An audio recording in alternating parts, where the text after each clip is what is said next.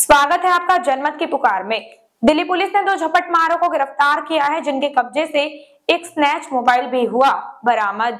Delhi police ने कृष्णानगर थाना क्षेत्र से दो झपट मारों को गिरफ़्तार किया है। आरोपियों के पास से एक स्नैच मोबाइल भी बरामद किया गया है।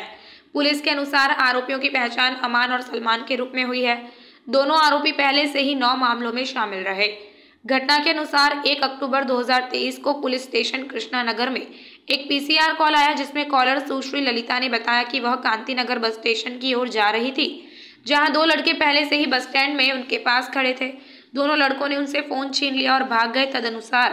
पीएस कृष्णानगर, शाहदरा में आईपीसी की धारा के तहत मामला दर्ज कर आगे की जाँच शुरू की गई। पुलिस की एक टीम ने आरोपियों को पकड़ने और मामले की संपत्ति बरामद करने के लिए कड़ी मशक्कत की।